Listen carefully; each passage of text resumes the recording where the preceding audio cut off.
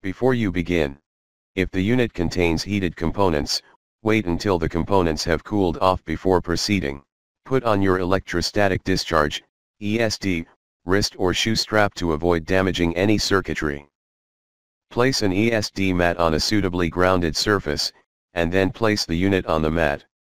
Remove any devices from the unit being serviced, such as CD-ROMs, SD card reader. Power off the unit and any peripheral devices that are connected to it.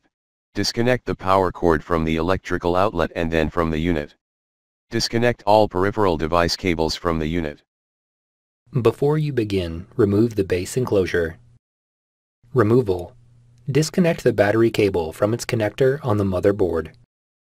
Carefully lift up on the rear edge of the RJ45 door to release it from the RJ45 frame. Remove the RJ45 door. Reverse this procedure to install the RJ45 door. Thanks for watching. Please click subscribe for more videos and weekly updates.